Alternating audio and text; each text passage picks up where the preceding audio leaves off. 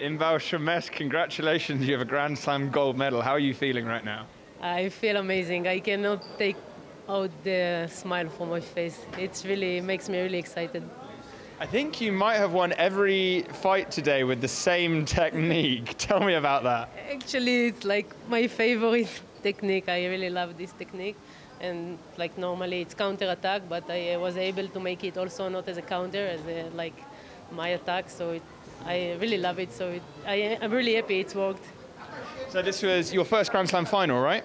Yeah. Yeah. So how did it feel walking out into such a? I mean, this is a crazy venue, right? Yeah, but I try just to focus on the fight plan. Like I do judo anyway, so it doesn't matter when I, when I do it, which fight is it. I like focus like it's the, the first fight, and just that it. Uh, Quadros, very seasoned fighter. Uh, what was your approach to the fight? Yeah, so I know she's like really experienced athlete and really good one, but I just try to focus on myself and my fight plan. I already fought her before, so I knew a bit, but I just like I just wanted to give my best. Doesn't matter who is going against me. Uh, the Tel Aviv Grand Slam has a pretty amazing crowd, one of the most famous crowds on the tour. What do you think of this crowd, and how was it to fight in front of them? Actually, I really love this crowd. I think they really support me because I think they also like the style of Uranage and come close. So uh, they really make me really happy to, to, to listen to them. Of course, the Israeli crowd is the best. So, uh, but I, I couldn't make it in Tel Aviv, and so happy I did it now.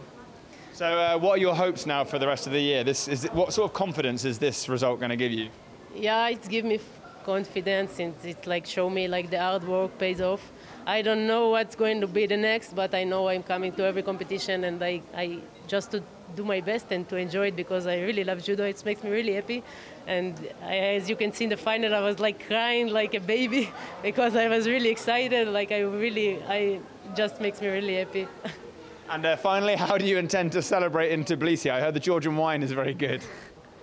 Actually, our flight is tonight already.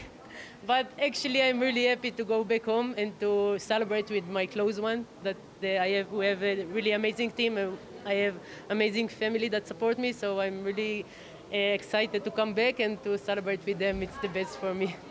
Thank you so much, Inbal. Congratulations.